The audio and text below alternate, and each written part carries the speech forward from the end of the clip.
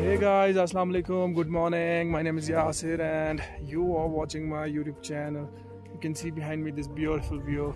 This is Badri and the feeling right now are awesome.